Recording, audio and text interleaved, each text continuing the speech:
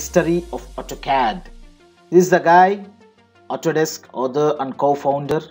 In 1982, John Walker and 12 other programmers pooled 59,000 to start Autodesk and began working on several computer applications. The first to be completed was AutoCAD, a software application for computer-aided design and drafting.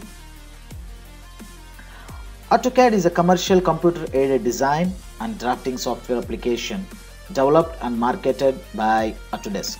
AutoCAD was first released in December 1982 as a desktop app running on microcomputers with inter internal graphics terminal.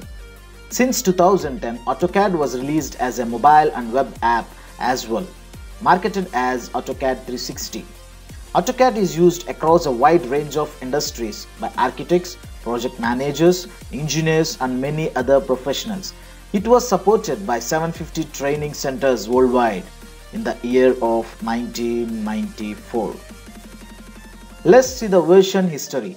AutoCAD was first released in December 1982 in a version 1.0 and then 1.2 and so on in 1983, 85, 86, 87, 88, 90, 92, 94, and 97.